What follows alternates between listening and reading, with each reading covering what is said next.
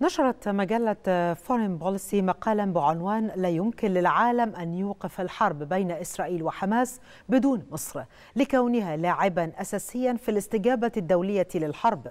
كما شددت مجلة فورين بوليسي في مقالها على أهمية سيطرة مصر على معبر رفح ومصالح الولايات المتحدة وإسرائيل في هذا الصدد. لكون المعبر يعد نقطة خروج للرعايا الأمريكيين وضمان الاحتلال الإسرائيلي عدم دخول الأسلحة إلى قطاع غزة عبر المعبر.